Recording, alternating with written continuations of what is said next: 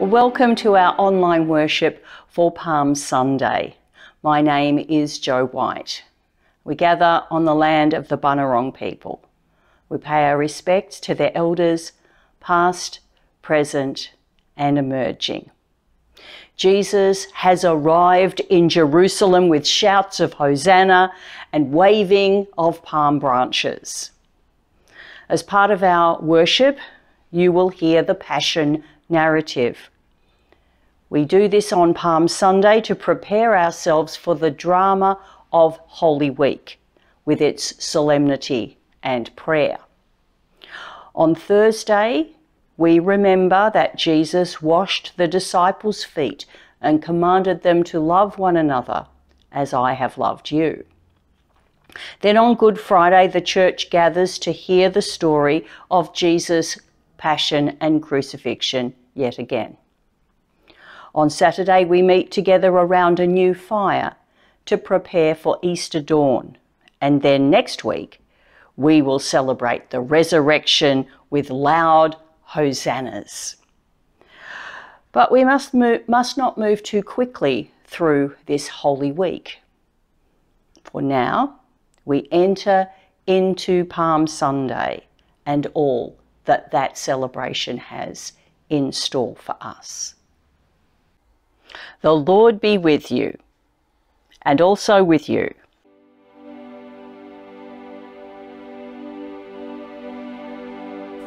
A reading from the Holy Gospel according to St. Mark, chapter 11, beginning at verse 1.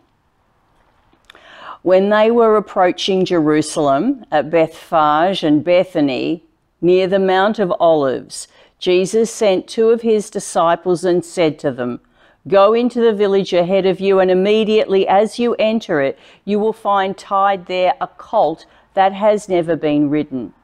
Untie it and bring it. If anyone says to you, What are you doing? just say this The Lord needs it and will send it back here immediately. They went away and found a colt tied near a door, outside in the street.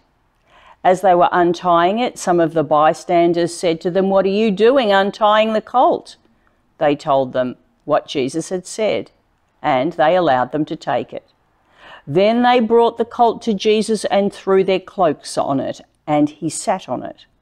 Many people spread their cloaks on the road, and others spread leafy branches that they had cut in the fields. Then those who went ahead and those who followed were shouting, Hosanna! Blessed is the one who comes in the name of the Lord. Blessed is the coming kingdom of our ancestor David. Hosanna in the highest. Then he entered Jerusalem and went into the temple. And when he had looked around at everything, as it was already late, he went out to Bethany with the twelve. This is the gospel of the Lord. Praise to you, Lord Jesus Christ. The collect for Palm Sunday. Let us pray.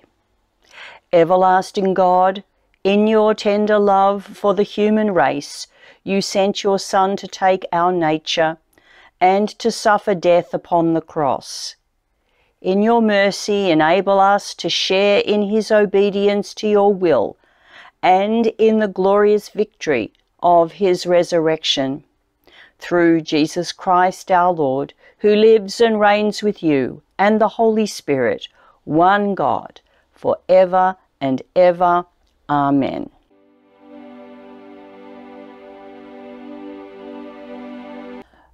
The Passion Narrative according to the Gospel of Mark. The plot to kill Jesus. It was two days before the Passover and the festival of unleavened bread. The chief priests and the scribes were looking for a way to arrest Jesus by stealth and kill him, for they said, Not during the festival, or there may be a riot among the people. While Jesus was at Bethany in the house of Simon the leper, as he sat at the table, a woman came with an alabaster jar of very costly ointment of nard, and she broke open the jar and poured the ointment on his head. But some were there who said to one another in anger, Why was the ointment wasted in this way? For this ointment could have been sold for more than 300 denarii and the money given to the poor. And they scolded her. But Jesus said, Let her alone. Why do you trouble her? She has performed a good service for me. For you always have the poor with you, and you can show kindness to them whenever you wish, but you will not always have me. She has done what she could. She has anointed my body before its burial. Truly I tell you, wherever the good news is proclaimed in the whole world, what she has done will be told in remembrance of her. The betrayal of Jesus. Then Judas Iscariot, who was one of the twelve, went to the chief priests in order to betray him. When they heard it, they were greatly, displ- greatly pleased and promised to give him money. So he began to look for an opportunity to betray him. The Passover with the disciples. On the first day of unleavened bread, when the Passover lamb is sacrificed, his disciples said to him, Where do you want us to go and make the preparations for you to eat the Passover? So he sent two of his disciples, saying to them, Go into the city, and a man carrying a jar of water will meet you. Follow him, and wherever he enters, say to the owner of the house, The teacher asks, where is my guest room where I may eat the Passover with my disciples? He will show you a large room upstairs, furnished and ready. Make preparations for us there. So the disciples set out, and went to the city, and found everything as he had told them, and they prepared the Passover meal. When it was evening, he came with the twelve. And when they had taken their places and were eating, Jesus said, Truly I tell you, one of you will betray me, one who is eating with me. They began to be distressed and to say to him one after another, Surely not I. He said to them, It is one of the twelve, one who is dipping bread into the bowl with me. For the Son of Man goes as it is written of him. But woe to that one by whom the Son of Man is betrayed. It would have been better for that one not to have been born. The institution of the Lord's Supper. While they were eating, he took a loaf of bread, and after blessing it, he broke it, gave it to them, and said, Take, this is my body. Then he took a cup and after giving thanks, he gave it to them, and all of them drank from it. He said to them, This is my blood of the covenant, which is poured out for many. Truly I tell you, I will never again drink of the fruit of the vine until that day when I drink it new in the kingdom of God. Peter's denial foretold. When they had sung a hymn, they went out to the Mount of Olives, and Jesus said to them, You will all become deserters, for it is written, I will strike the shepherd, and the sheep will be scattered. But after I am raised up, I will go before you to Galilee. Peter said to him, Even though all become deserters, I will not. Jesus said to him, Truly I tell you, this day, this very night, before the cock crows twice, you will deny me three times. But he said vehemently, Even though I must die with you, I will not deny you. And all of them said the same. They went to a place called Gethsemane, and he said to his disciples, Sit here while I pray. He took with him Peter and James and John, and began to be distressed and agitated. And he said to them, I am deeply grieved even to death. Remain here and keep awake. And going a little farther, he threw himself on the ground and prayed that, if it were possible, the hour might pass from him. He said, Abba, Father, for you all things are possible. Remove this cup from me, yet not what I want, but what you want. He came and found them sleeping, and he said to Simon, Why are you sleeping? Could you not stay awake one hour? Keep awake and pray that you may not come into the time of trial. The spirit indeed is willing, but the flesh is weak. And again he went away and prayed, saying the same words. And once more he came and found them sleeping, for their eyes were very heavy, and they did not know what to say to him. He came a third time and said to them, Are you still sleeping and taking your rest? Enough, the hour has come. The Son of Man is betrayed into the hands of sinners. Get up, let us be going. See, my betrayer is at hand. The betrayal and arrest of Jesus. Immediately, while he was still speaking, Judas, one of the twelve, arrived and with him there was a crowd with swords and clubs from the chief priests, the scribes, and the elders. Now the betrayer had given them a sign, saying, The one I will kiss is the man. Arrest him and lead him away under guard. So when he came, he went up to him at once and said, Rabbi, and kissed him. Then they laid hands on him and arrested him. But one of those who stood near drew his sword and struck the slave of the high priest, cutting off his ear. Then Jesus said to them, Have you come out with swords and clubs to arrest me as though I were a bandit? Day after day I was with you in the temple teaching, and you did not arrest me. But let the scriptures be fulfilled. All of them deserted him and fled. A certain young man was following him, wearing nothing but a linen cloth. They caught hold of him, but he left the linen cloth and ran off naked. Jesus before the council. They took Jesus to the high priest, and all the chief priests, the elders, and the scribes were assembled. Peter had followed him at a distance, right into the courtyard of the high priest, and he was sitting with the guards warming himself at the fire. Now the chief priests and the whole council were looking for a testimony against Jesus to put him to death, but they found none. For many gave false testimony against him, and their testimony did not agree. Some stood up and gave false testimony against him, saying, We heard him say, I will destroy this temple that is made with hands, and in three days I will build another, not made of hands. But even on this point, their testimony did not agree. Then the high priest stood up before them and asked Jesus, Have you no answer?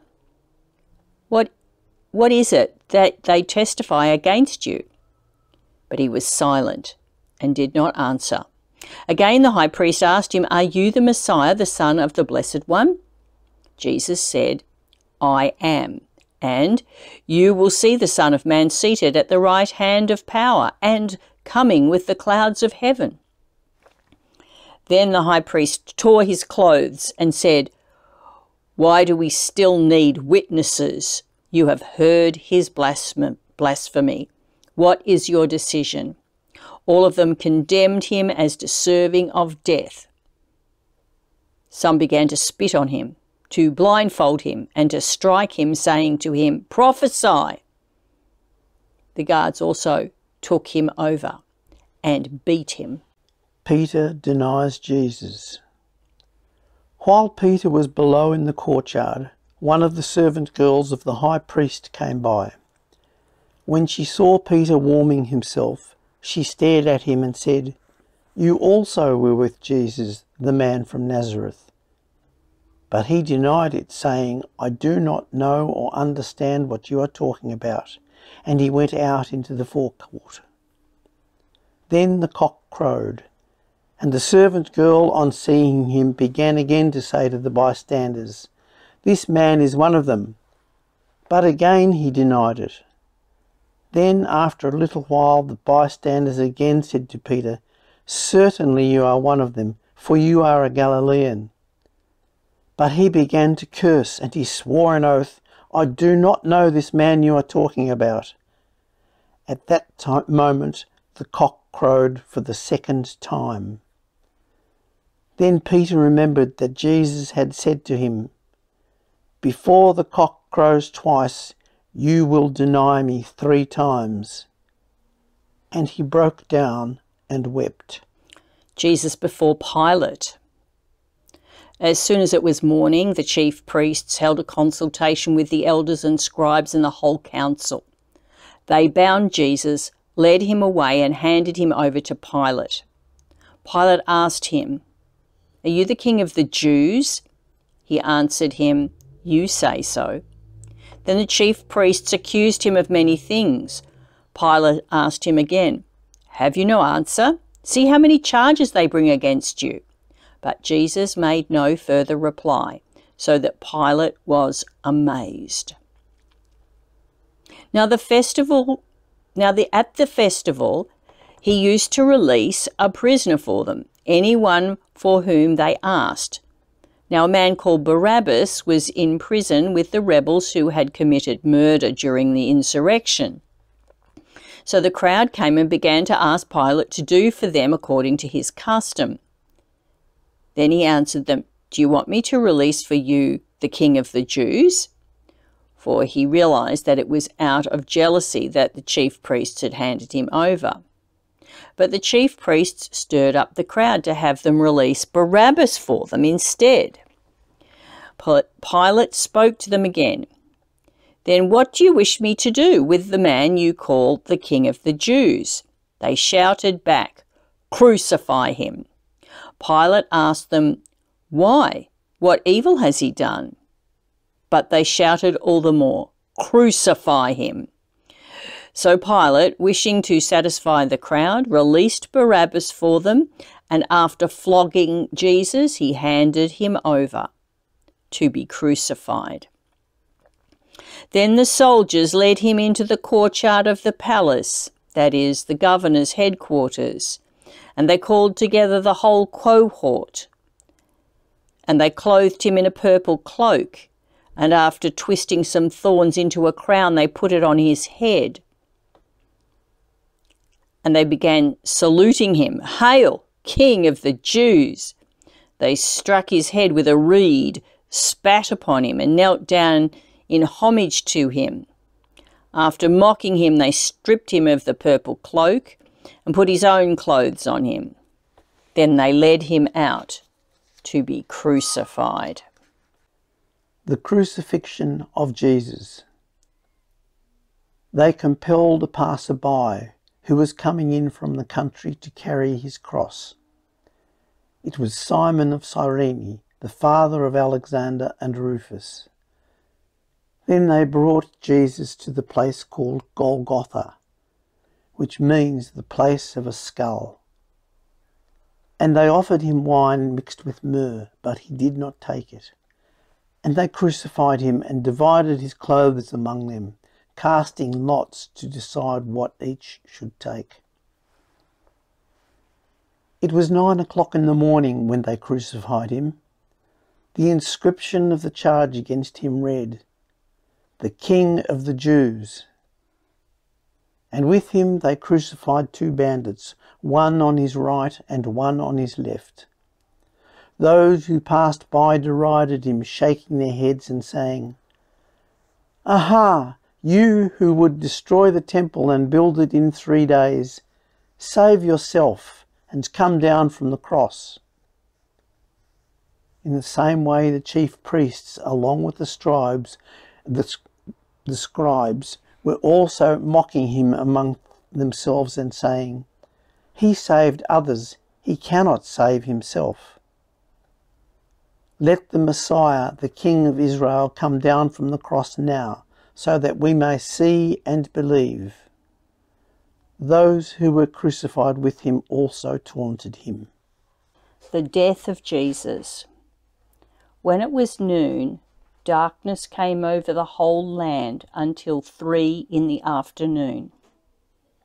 At three o'clock, Jesus cried out with a loud voice, Eloi, Eloi, lama sabachthani, which means, My God, my God, why have you forsaken me? When some of the bystanders heard it, they said, Listen, he is calling for Elijah.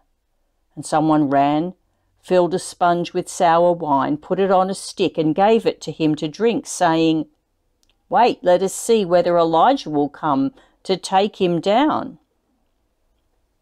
Then Jesus gave a loud cry and breathed his last. And the curtain of the temple was torn in two from top to bottom. Now, when the centurion who stood facing him saw the way in which he died, he said, Truly, this man was God's Son. Well, there's a stark difference between the opening of Palm Sunday and its conclusion. We begin with Jesus' triumphal entry into Jerusalem. Jesus is hailed as king with loud hosannas as he enters the city. People wave palms and strew his way with branches and with their clothing. I wonder, have you ever collected autographs? Or perhaps you've heard that expression, I'll never wash this again. I'll never wash my cheek again, because it's been touched by someone famous. Well, imagine that we are on the road into Jerusalem with all those other welcomers of Jesus, and we take off our outer garment, our coat or our shirt, and put it on the ground for Jesus to walk on. Are we worried that it's going to get dirty? No. We are honoured that Jesus would walk on our clothing we might never look upon that garment in the same way ever again. And if we put it back on soon after, we maybe it would feel different to us, special, because it has been touched by the feet of Jesus.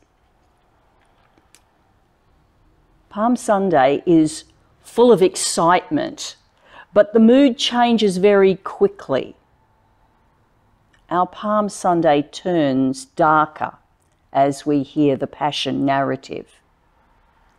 If we allow ourselves to enter deeply into these days, from Palm Sunday through Maundy Thursday, Good Friday to the dawn of Easter Sunday, we will find an intimacy with Christ that is confronting and ultimately draws us closer in love to God, the God of compassion.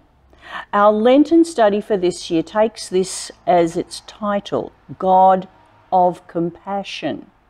And it invites us to listen to all sorts of stories of suffering and injustice with compassion, with the ear of our heart.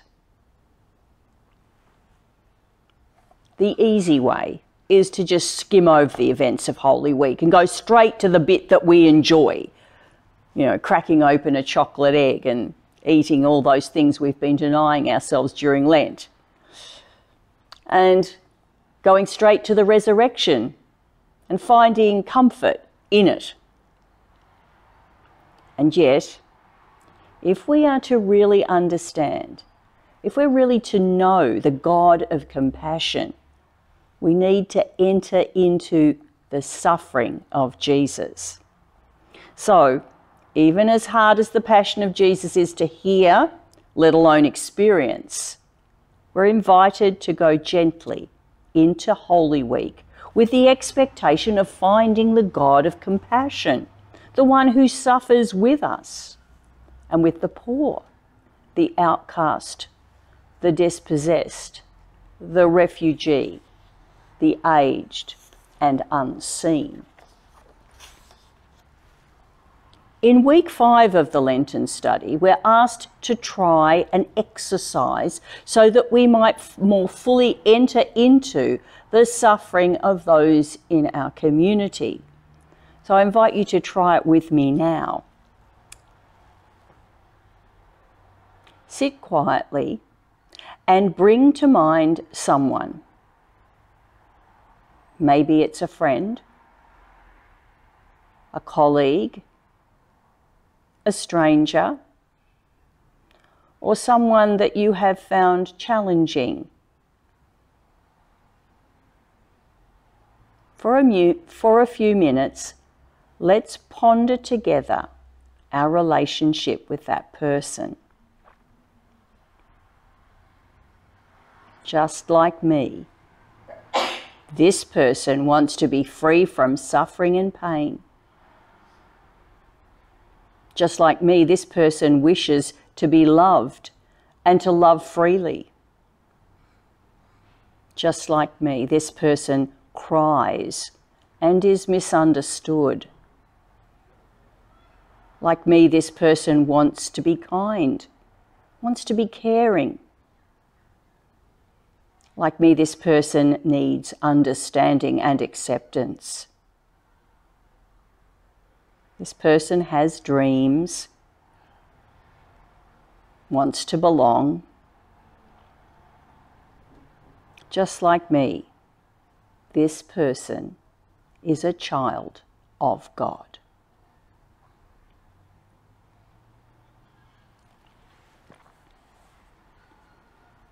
Jesus' passion and death is not simply an event on the church calendar. Jesus' passion and death shows us the compassion God has for God's children. Jesus is full of compassion when he defends the woman who has come to anoint him at Bethany. Jesus responds to the criticism of others, saying, let her alone. Why do you trouble her? You will always have the poor with you, and you can show kindness to them whenever you wish. Even as Jesus sits around the table with his disciples for the Passover meal, we sense his concern for them. As they become distressed, Jesus is gentle with them, and he himself is distressed. The announcement of the betrayer in their midst gives him no pleasure. Jesus does not use this as an opportunity to vilify or accuse. He suffers with his betrayer, Jesus, full of compassion. In Mark's account of the Passion, after Jesus has been arrested, he barely speaks again. He makes a brief reply to the high priest and to Pilate, but for the most part, Jesus is silent. Mark even makes a point of saying in verse 61 But he was silent and did not answer. And again in verse 5 of chapter 15 But Jesus made no further reply. Jesus' lack of reply has many resonances, but one for us today is for those who suffer, as Jesus did. These are the silent ones. They have no voice and no right of reply. These are the ones who, who cannot find work. These are the ones who lose hope while waiting for a permanent residency visa. These are the ones caught in abusive relationships. They are abused or wrongly imprisoned. These are the ones who have given up trying to speak because their cries always fall on deaf ears. Our loving and compassionate Saviour suffers with them and for them.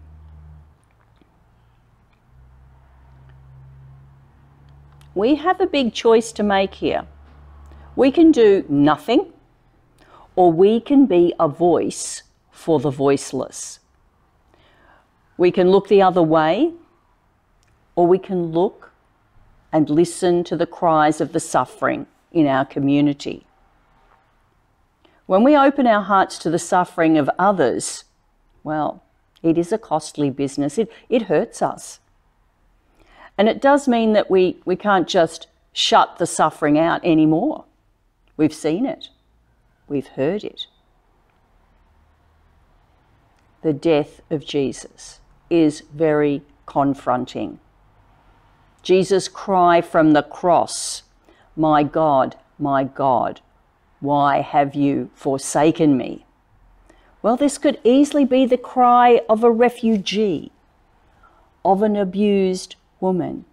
It could be the cry of anyone who suffers injustice or wretchedness of any kind. It's important for us to understand the nature of Jesus' suffering. The cry of ab- abandonment from the cross expresses a human cry of abandonment. It is recorded by Mark so that we might become more keenly aware that whatever darkness may envelop us, nothing can separate us from the love of God. Jesus' death is only the beginning. Our journey to the resurrection has just begun. We must walk the steps of betrayal, injustice, mocking, and pain before we can experience the fullness of Easter joy. Let us pray. Compassionate, loving Lord Jesus. You know what it is to be betrayed, abused, and rejected. We grieve that as a society we are choosing to let people fall into poverty and disadvantage. Give us grace to recognize the needs and struggles of others. And give us courage to counter the structural injustices we see around us. Amen.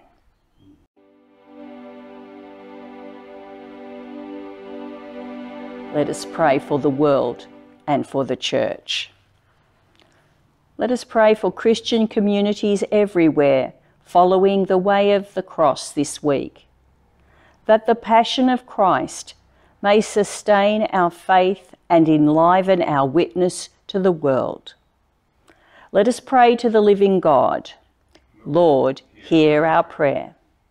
We pray for pastors, teachers, evangelists, and prophets of the church, that the wisdom of Christ may keep them grounded in the gospel. Let us pray to the living God. Lord, hear our prayer. We pray for those who are preparing for baptism and for the church preparing to welcome them.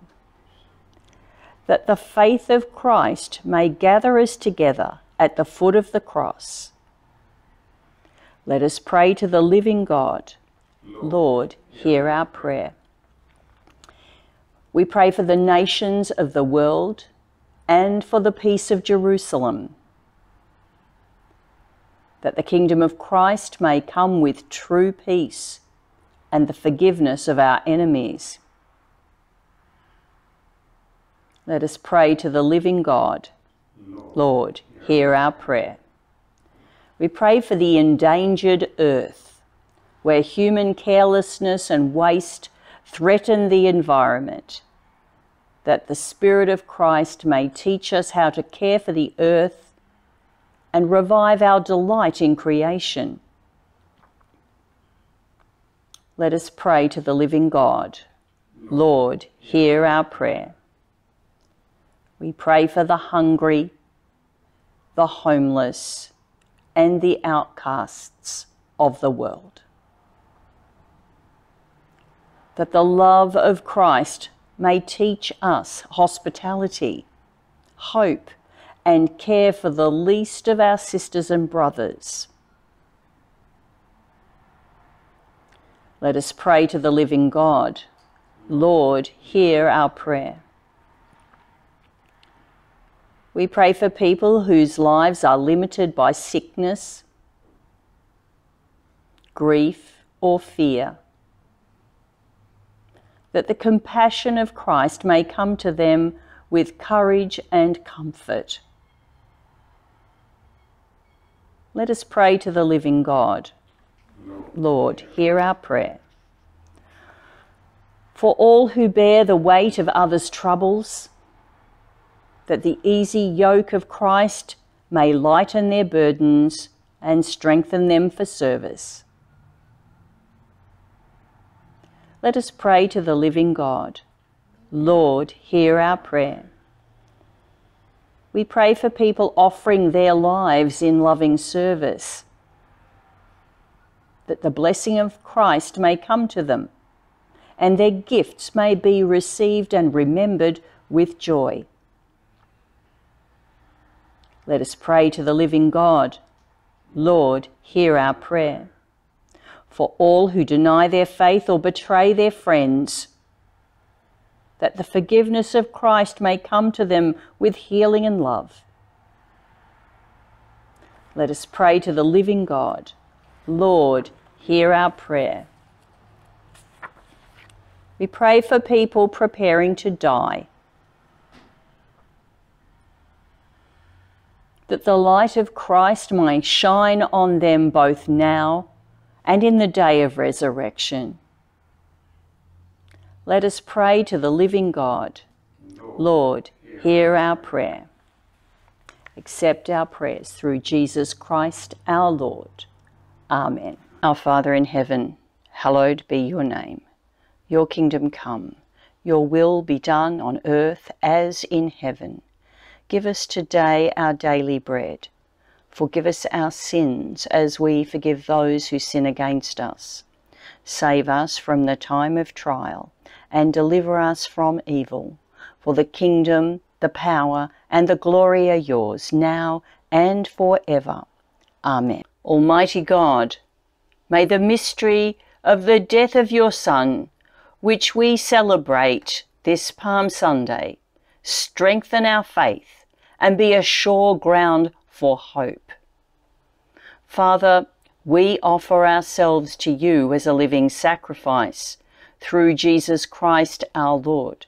Send us out in the power of your Spirit to live and work to your praise and glory. And the blessing of God Almighty, the Father, the Son, and the Holy Spirit be with you now and remain with you always. Amen. Notices for this week. Lenten studies continue across the parish. Unfortunately, Due to illness, the Bass group has had to go into recess but will recommence after Easter. All other groups continue this week and you are always welcome to join in. If you would like a palm cross to remember this season, they are available from the little table at the rectory in Cowes and from each of our churches during this week. Services for Holy Week and Easter are as follows. April the 1st, Maundy Thursday, a foot washing service with Holy Communion at St Augustine San Remo at 7 pm. Good Friday, the 2nd of April, services will include reserved sacrament at St Philip's Cowes at 9am, at St Augustine's San Remo at 10.30am and at St Paul's Bass also at 10.30am. On Holy Saturday, the 3rd of April, there will be an Easter Vigil with the lighting of the new fire and Holy Communion at St Philip's Cowes at 8.30pm. Now, a reminder to everyone that daylight saving ends this Saturday, the 3rd of April. That's Holy Saturday. So you need to put your clocks back one hour before you go to bed in readiness for Easter morning. If you're planning to attend any of our services on Easter Sunday, please book in as we do have limited seating due to the density quotients imposed by COVID 19 regulations. You will, you will ring Michaela and her phone number is on our website. On Easter Sunday, the 4th of April, Holy Communion will be in all congregations. 10 a.m. at St. Augustine's in San Remo. 10 a.m. at the Parish Hall in Cowes and 12:30 p.m. at St Paul's in Bass.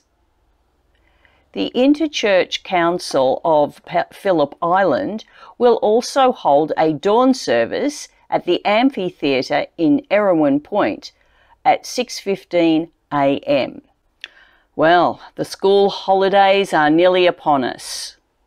And my guess is that you might be welcoming guests or planning a holiday with family or friends. May the God of compassion bless you this holy week. Amen.